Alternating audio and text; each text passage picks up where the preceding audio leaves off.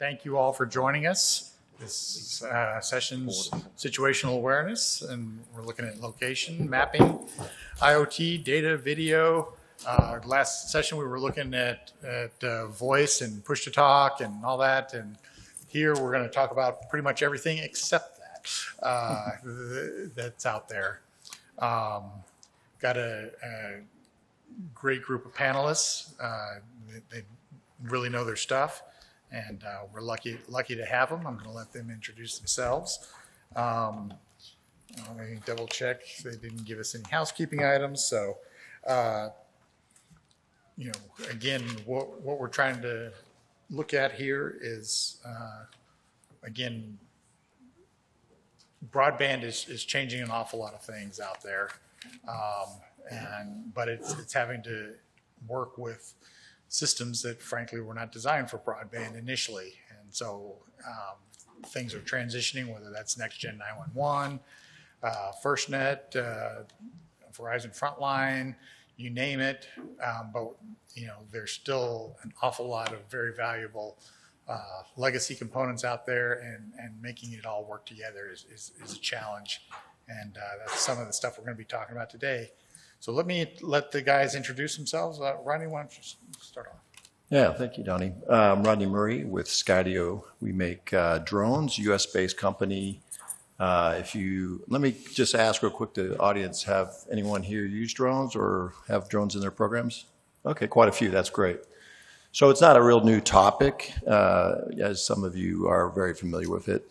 Uh, I've been in the wireless space now for all my career, actually worked in Verizon's robotic business technology uh, prior to coming on at Skydio. So I'm very familiar with communications, worked on macro cell sites, microwave, you name it. Um, so this is my sort of my sweet spot, if you will, for the company. I work in the enterprise side of our business. We do have a full uh, SLED team that does a lot of the uh, law enforcement and fire emergency, and also we have a big Fed presence as well. Uh, There is a lot of uh, push in the drone market to be on uh, US-made drones, and so we're 100% manufactured in the US, uh, and our systems run on cloud systems, so we do use a lot of the connectivity to get uh, data back and forth, and and I'll talk about that in a little bit. Ed? Thanks, Donnie. Good to see everyone. Thanks for everyone uh, for taking time out of your busy days to be here today. It's good to see so many familiar faces. My name is Ed Parkinson. I'm the president of public sector at Rapid SOS. We're an intelligent safety platform uh, specifically for the 911 ecosystem where we ingest data through our software into the ECCs and able to push that data out to first responders to give better situational awareness, accurate, accuracy for location, and just a full suite of other data. Um, Donnie talked about how a lot of the systems that public safety have to use today weren't necessarily designed for broadband. And I think what you've seen over the last three or four years has been this extraordinary evolution in the use of data by first responders.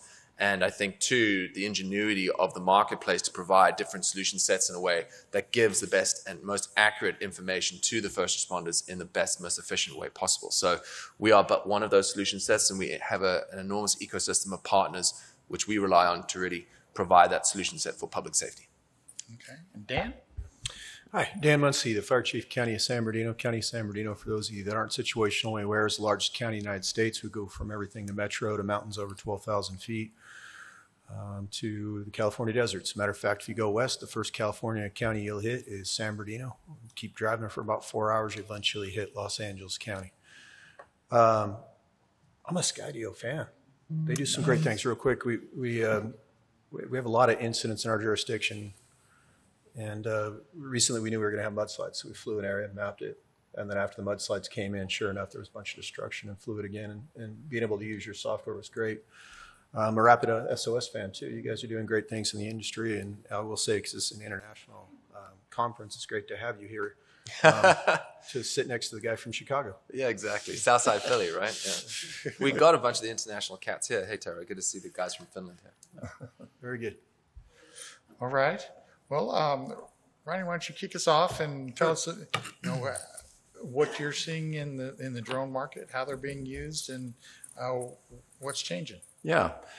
Well, I mean, I could spend a lot of times talking about drones in general, and and it looks like from judging from the room, there's a lot of experience out here. So I don't really want to focus on, you know, what does a drone do and how can we use it in the public sector. I do want to focus on, since this is a communication-oriented uh, conference here, I want to talk about the data and how do we use the data and how do we get more data and push more data. Uh, and so with that, I want to talk about autonomy. So autonomy is, uh, it, as it sounds, it is the ability for the drone to think on its own. We give a lot of uh, processing power to the drone. Uh, at the core of our autonomy system is a vision-based system.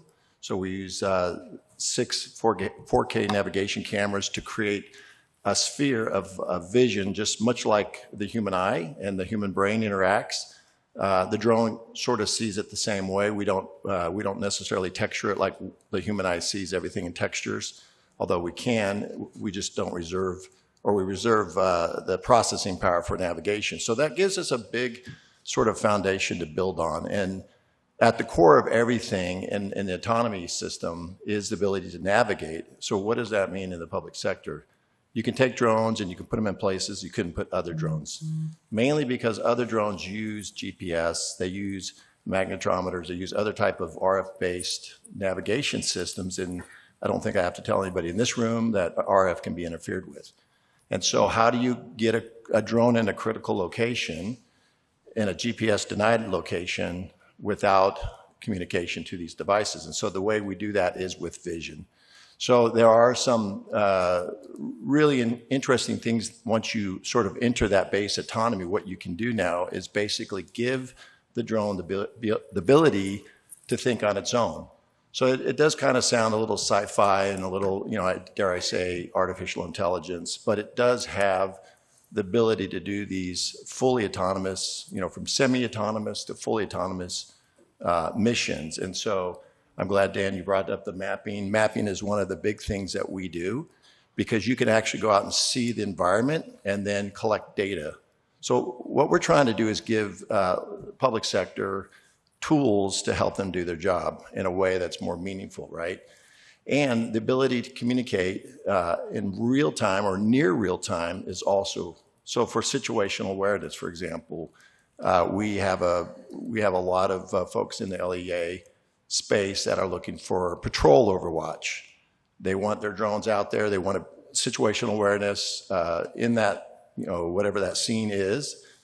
They want to be able to put the uh, bird's eye perspective out in the field ahead of their law enforcement agencies and their, their agents uh, to obviously keep the agents safe, but also give them more intelligence on the situation on the ground. So we can do a lot of things like we can fly a drone up to the edge of a building, and we have a thing called perch. So you can literally set the drone while it's active and live and set it on, on an edge of a building and now control the camera. What that does is give you a lot longer time in the air because you're not spending all that battery power keeping the drone in, in the air. You literally fly it to a place and land it, keep the drone alive, and now you have a very extended period of time where you can position the camera and look and, and those type of things. And then obviously with thermal, we can do a lot with search and rescue. We can see uh, heat signatures in real time, so we're able to put drones out in, you know, maybe a, a heavily dense forest area looking for somebody that might be trying to hide under a bush with a thermal signature. You can see that very easily. Uh, and so that gives them a lot of situational. And then we work with uh, folks like Axon to do uh, integration with uh, body cameras and situational. Uh, there's a company called DroneSense, if you're familiar with them. We work with them closely and trying to, uh, you know, give that real-time data. So obviously, all that stuff has to connect over a network. Uh, what we look at it as, you know, it come when you're talking about wireless networks. Sort of, there's two things that come to mind latency and bandwidth. So if you have a lot of data and you're trying to push this over the wire or over the wireless connection, uh, that can cause a lot of bandwidth issues, cause a lot of latency issues. So what we're looking at is a command and control model, much like a joystick, you know, remote control with joysticks in your hand. The pilot will give command and control uh, signals to the drone. We can do that through uh, now extending it through the wireless network. So the one thing we just released in uh, December is our dock. It's called uh, drone remote operations. So now we can stick a drone in a situation in a semi-permanent set setting, connect it to the internet, connect it to power, and then control it from any computer in the world. And so now we have folks that are really pushing the envelope on what they call a drone as a first responder. So that's not really a, a new thing to Skydio. It's, uh, it's been in the market for a little bit. There's a number of companies that are doing it, but having the ability to remotely control that drone and get that data back to the command, command center is vital. And so I think what you're going to see is this evolution of autonomous features being expanded as communication systems get better, um, as regulatory environments start to change and get softer around what we can and cannot do in the airspace. I think you're going to see a lot more applications expand. Okay. And so what, typically, what are you, what kind of communication are you using to, to direct the drone? And what does that, that link look like now and, and how could that change in the future? Well, um, so right now with our remote operation, we can actually just connect into an existing fiber or, or wired connection. Uh, we see that a lot. But in the case where we don't have that ability, uh, we can connect through 5G, LTE, and, and actually put that on the drone. So now you're seeing a lot more drones with 5G LTE connections built right into the drone itself. So with, with edge computing, uh, you get semi-near real-time uh, computation. With the computation power on the drone itself, we, we run a very high processor, nine neural network processor on the drone itself. You can push uh, basically smaller packets out to the drone that then are just command sets that tell the drone what to do. And actually, the, the computing power on the edge or the computing power on the drone will give it uh, an extended processing power. So, you know, a minimal connection, I would say, is a 5G LTE type connection. Okay. And um, just to clarify also, the, the form factors of your drones, how big do they go and how small can, can they be? Yeah, so uh, I mean, we have to work within the rules of the FAA, so it's less than 55 pound drone. We are uh, what I'd consider a small uh, form factor, so we're not really looking to carry these big, heavy payloads. Um, there are manufacturers that do that and have that capability. Our focus is really about the autonomy and about the software that that uh, resides on the drone itself. Uh, so if we're carrying big payloads and things like that, you might have to look to uh, a different manufacturer for something like that. Okay, but uh, like I've seen drones that are all less than the size of your hand, so you all aren't doing any of that stuff, right? Yeah, I mean, yeah, they, they range in size, but I'd say this is probably a mid-size, uh, you know, two to three pound type uh, form factor. Very cool, very cool. And from the US, which is a big deal with a lot of the funding that's coming out right now. So Ed, tell us, what are you seeing out there? Um, All, all this data, how do, how do I get it into the command center? I think what's really, really interesting, especially when you look at the 911 ecosystem, is how the market and how the call takers in ECCs have had to evolve over the last two, three years to changing circumstances, to changing data flows, to the just the just a huge amount of data that's now coming into an ECC. I remember I was sitting at this conference a few doors down, maybe four or five years ago, and there was a conversation around 911, next generation 911, where it was going, and the conversation really went to the, these ECCs are going to turn into mini fusion centers, right? Because it's ingressing all this data. The, the question mark then is how will a call taker be able to ascertain what is the right information to separate and to get into the hands of the women, the men running in harm's way? And so what what we at Rapid and what many other companies are trying to do is to potentially make sure that that information that is being put in front of a call taker is the right information at the right time for the right situation. And, that's no easy task because you know information for Dan and his team would maybe necessarily be different you know for other folks in one county over. Um, all all disasters, all all responses is local. So you have to really think about what are the local needs. How do you get the, the right information tailored for those like local situations? So we rely on this suite of partners. Uh, we have over 90 partners that we integrate data from in the Rapid SOS ecosystem through both our portal product as well as our premium product, um, and and we integrate that um, through APIs into the eco into the portal, the a big upon the platform that we have built at Rapid SOS.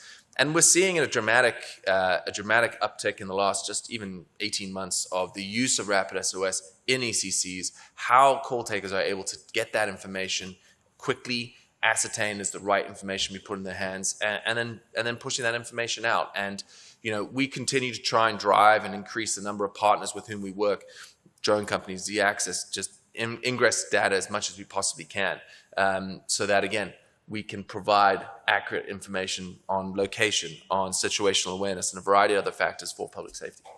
Okay, and you mentioned all the partners, and you guys have had a bunch of partners, and I'll be honest, sometimes the, you see Uber, Grubhub, what does that have to do with public safety?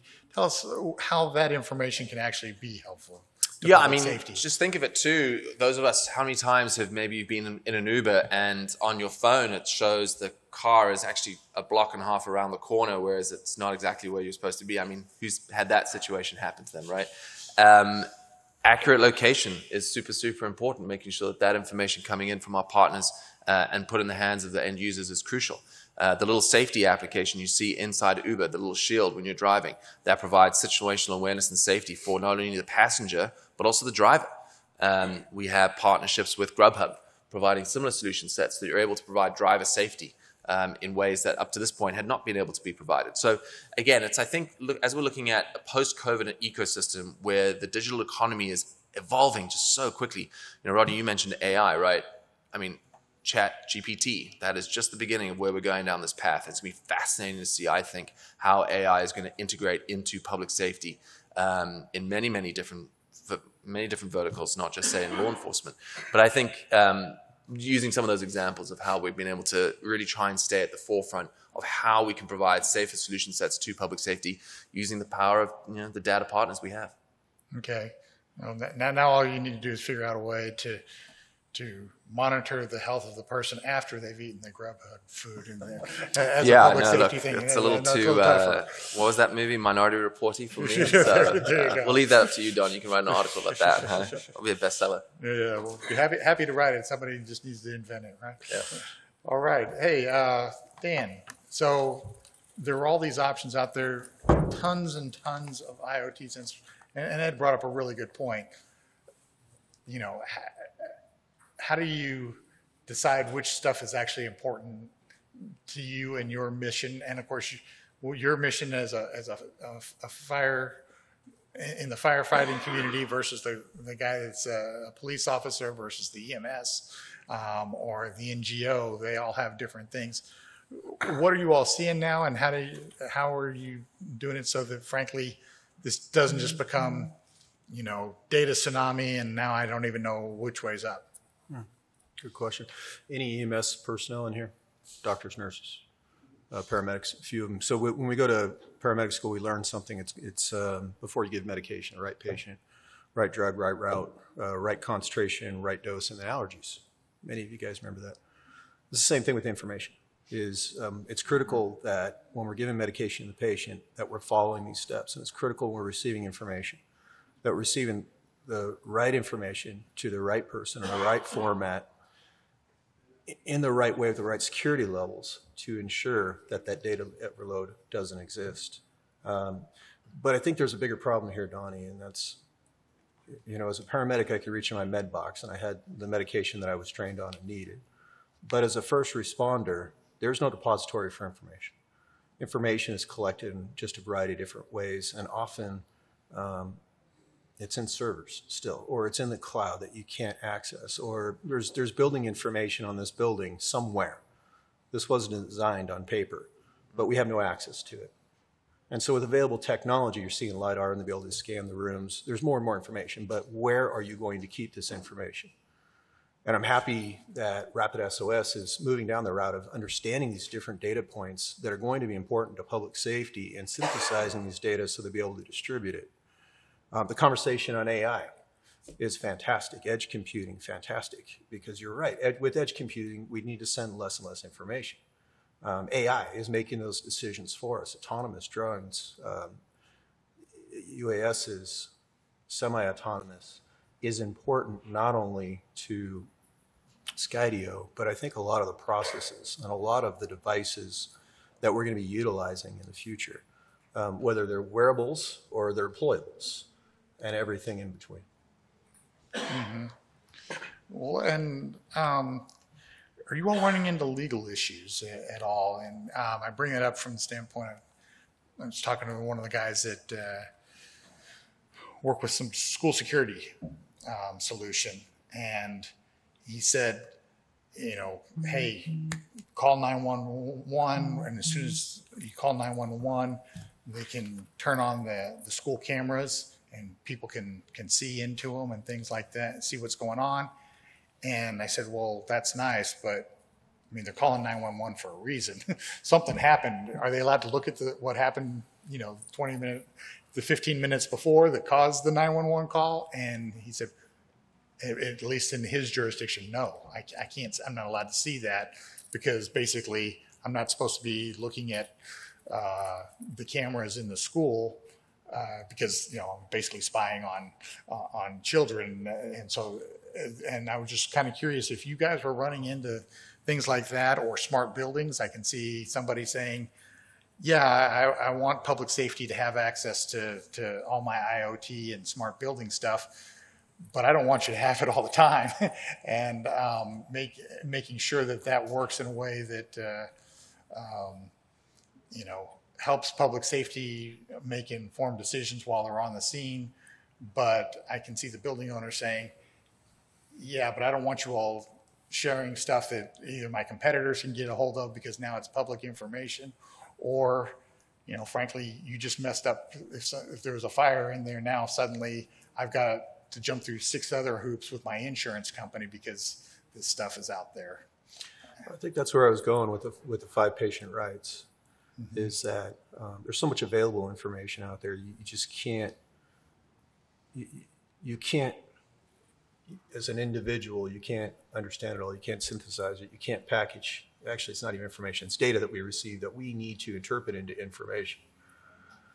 The securities that exist in today's world are very limited, and so because of that, a lot of jurisdictions don't have those policies, procedures, or the abilities in place to receive the kind of information you're talking about, the school cameras. We're very limited. Ed's completely right that we're looking at a transition from communication centers into fusion centers. But with that, there's the data packages that are needed to, to um, sustain and create the operational ability in those centers.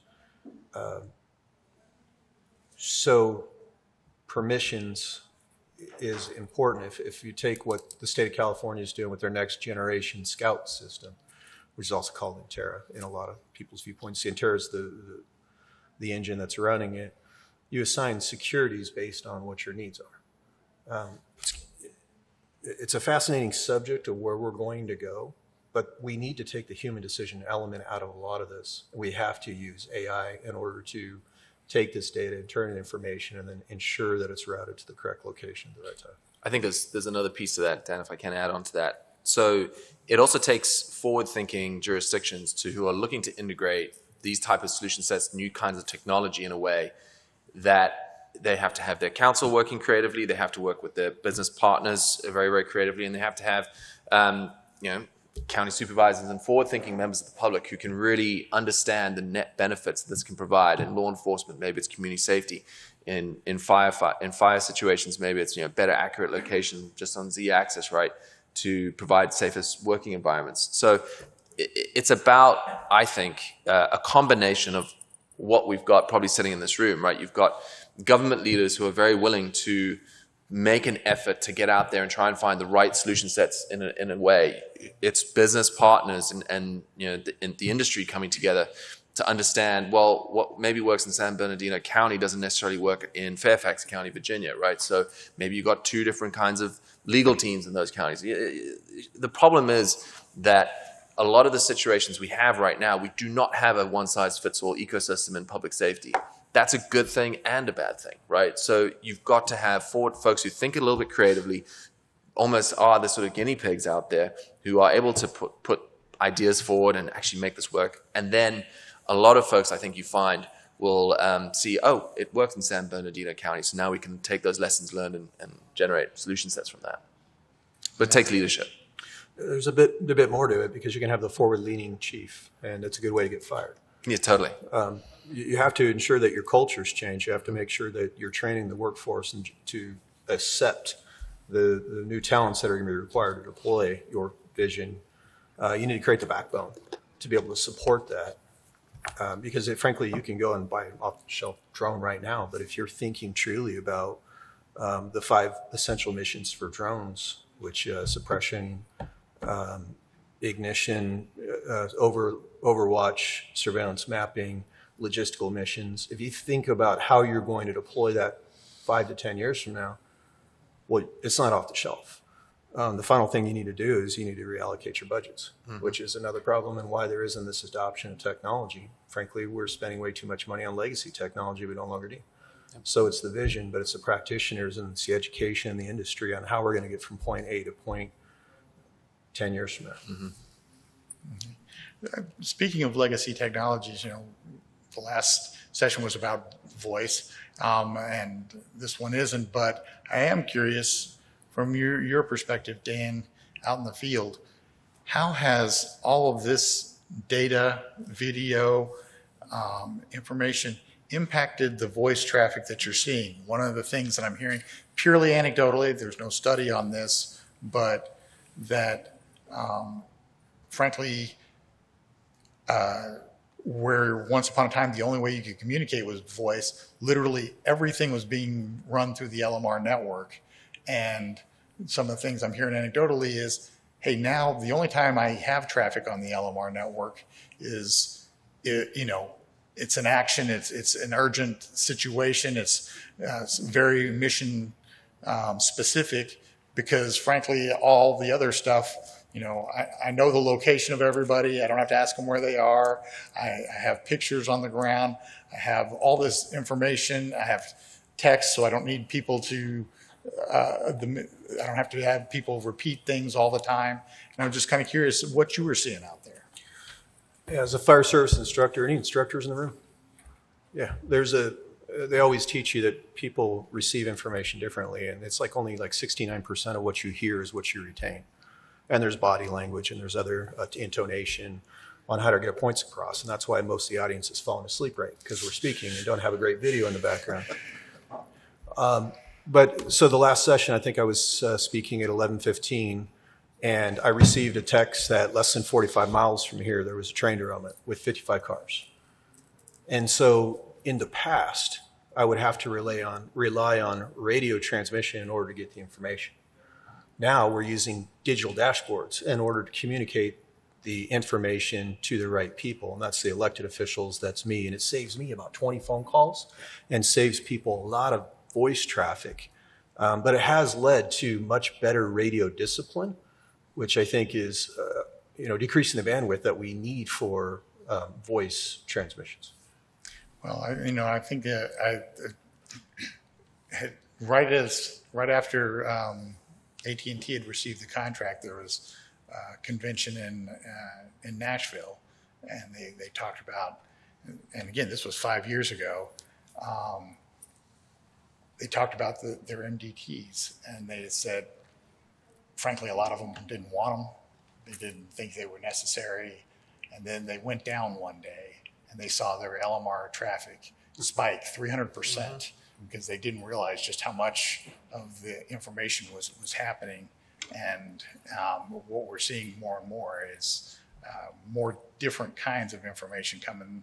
And, and as we look at the possibilities with the Internet of Things and uh, the kind of sensor data that's going to be out there, I, And that should scare us to no end on how much we rely on data on our own lives. Frankly, half the new firefighters that I hire, they have no idea how to drive to frickin' Walmart Totally. without looking at their phone. so we don't, but we, we have not created the redundancy that we need in communications at all. We're nowhere near the mesh that we need to ensure that redundancy occurs. We're very, very vulnerable, I think, at this period of public safety than we've ever been before.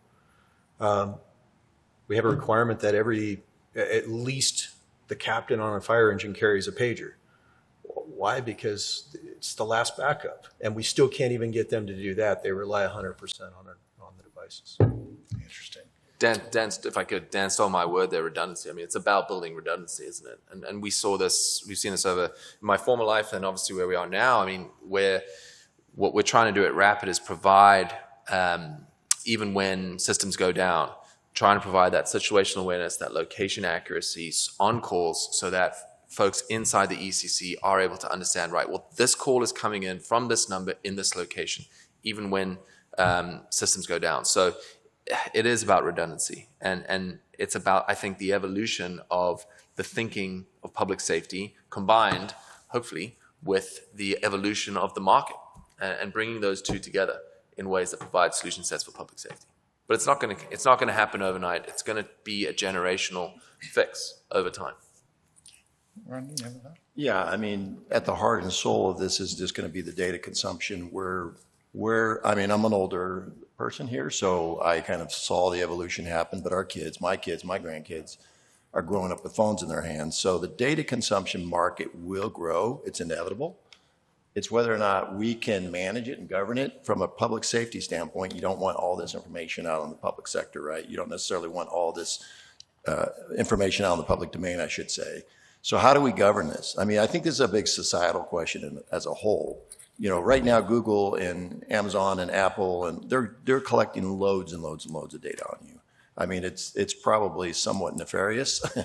But if you think about what your phone does and how much, just sit there and look at the settings in your phone. Your smartphone is just, you know, apps. You talk about Walmart. Why does Walmart need access to all my, you know, my camera, my microphone, and all this? It's, you know, it's all shr- shrouded in this uh, era of convenience. So it's inevitable. But the question really is, we're going to end up, I think, as a society on data overload. We're going to have too much data, and it's not going to be practical for humans to process that. And I think that's where artificial intelligence, uh, you know, autonomy comes in. So there are going to be some tasks that I think we can we can let the computers do, and we can have a high degree of confidence that the computer's going to do it well and maybe even better. You know, there's this uh, term in AI in the AR world called semantic understanding. We are actually working on it, where the drone can look at something and understand what it's looking at. So in a, in a law enforcement situation, in a, in a patrol overwatch situation, we can track, we can determine the difference between the victim and the perpetrator. So that's what semantic understanding is going to give us the ability to do. And so, you know, is there going to be some learning curves? Is there going to be some bumps along the road? Yeah, we're, we're training the machines to do the, the thinking essentially, but we can't, you know, we can't completely be removed from the, the formula here you know, it is sort of the, the Skynet, uh, you know, scenario. the machine's going to take over and replace the humans with machines. You know, we're always going to be able to, to throttle that or control that or govern that. And that's, that's really going to be the challenge, right? That's going to be the huge challenge. Vendors will end up with the lion's share of the data, you know, until, uh, until governance catches up, right? That's generally how it goes. So, you know, the Googles of the world are going to own the data they're going to be on their servers and their server farms. They've invested, you know, millions and billions of dollars in this, this technology. That technology is coming whether we want it or not. So, you know, I just work for one of those companies that is on that bleeding edge of pushing the envelope. So it'll be a really interesting conversation I think we have as a society of how do we manage this. Okay, and um, I know, you know, Skydio, you're so well known for the aerial drones. Are you all looking at all on terrestrial um, drones and, and underwater?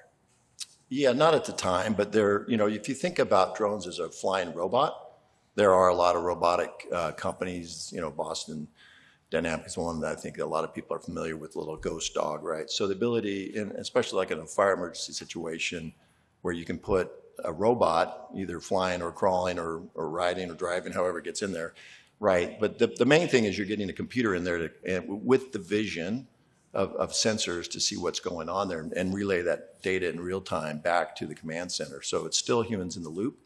It's still humans, but what you're not doing is putting the human in a dangerous situation up front until you can assess what's going on. Well, And to that point, what are some of, I mean, everybody knows, hey, there's cameras on, on these things, but what other sensors are you all putting in? What, what is being requested, frankly, from the market? Yeah, I mean, EO and IR are the two main ones, right? That's the, the visual camera and the, the, the uh, thermal camera. You can do multispectral cameras. Uh, basically, any sensor, LiDAR, you mentioned LiDAR earlier. Um, there, there are a lot of different types of sensors you can put on this. I think the application for sensors, I know uh, uh, methane gas detection was one that we were looking at. Um, you know, in our, in our drones, we don't focus on some of those, I would say they're more niche uh, type sensors, but they're all out there and, you know, you can find them and you can find many of them that are on, you know, that will fit to, the to a drone. Okay. And what are the, you know, a few years ago, there was a big push on, you know, trying to do beyond line of sight with, with, drones and things like that. Where does that stand now? Can I do it? And, and what do I have to meet to be able to uh, do some of those things? Yeah, uh, that's a great question. If you're not familiar, uh, the FAA has a rule under the Part 107 uh, license to operate a commercial drone called a visual line of sight. That means you gotta maintain uh, eyes on your drone while it's up in the air. That visual line of sight is obviously limited uh, to what you can see, which is generally like two to, you know, 1,500 to 2,000 feet roughly. Uh, When you're talking about remote operated drones, that's removing the, uh, the pilot from the location of the drone. So that could be thousands of miles away. You now need this waiver from the FAA that is called B- BVLOS or Beyond Visual Line of Sight. So the FAA regulatory body is evolving. Uh, They're coming along for the ride, but as usual, they're typically lagging behind the technology. Um, What I see with the FAA right now is what they call, basically, it's a a shielded operation. So uh, in the utility sector that we work with a lot, we're putting these out on like the substations, for example. Uh, There's been a lot of concern with security around substation, people taking target practice on the transformers and things. Uh, Obviously, that's, you know, a security issue, but it's also electricity issue if they take it out. So there, you know, a lot of our uh, utility customers are putting these essentially drone in a box, uh, you know, a remotely controlled uh, house that has a drone inside of it that you can connect it to the internet and then connect and remotely control it.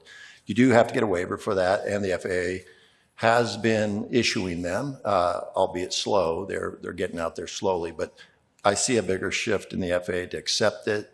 There's a term they call uh, shielded operation, where we basically define the airspace in that particular location as a controlled airspace that's not going to, because the con- concern is really just uh, interference with manned aircraft. So that's the FAA's concern. So again, just trying to define an airspace that only the drone will operate and a, and a manned aircraft will never operate in. You're seeing a lot more progress with the FAA in that area. Okay. And you, you mentioned, you know, that you're communicating with that, that drone with 5G and that, that sort of thing.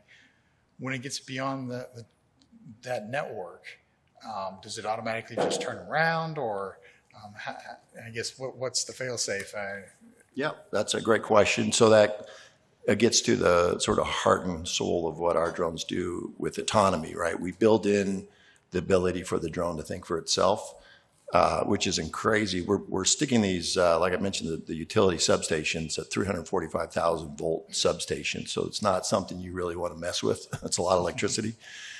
And the drone can navigate in that environment without running into a circuit breaker or a transformer or something that would probably blow the drone up and take this, you know, take a half a city block out or something.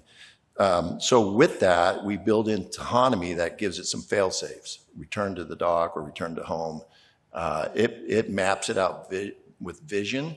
So you know, even if this the 5G signal goes away completely, the drone still knows how to get back, and it it knows okay, I lost my 5G signal.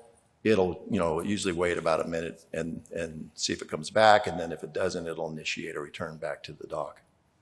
Okay. And one last thing, apo- with all of these LEO satellites and things like that, could, and especially the- with the satellite direct to phone or direct to device, do you see that as maybe extending the ability of, of these 5G networks to continue to uh, uh, communicate with uh, a drone even well beyond the, the terrestrial network? Yeah, I mean, we're sort of agnostic to that. We don't really care how, how the signal gets there, uh, as long as the signal gets there. I mean, and again, we're reducing the subset of data down to, you know, what they call C2 command and control. It's, it's, it's actually less data than you would get off your remote controller if you're out there flying it with, you know, wiggling the sticks. So again, putting a lot more onus onto the drone to think and just sending the command sets in very small packets. So that could be, you know, we, we communicate with GPS satellites, although we don't navigate by them. We can navigate by them.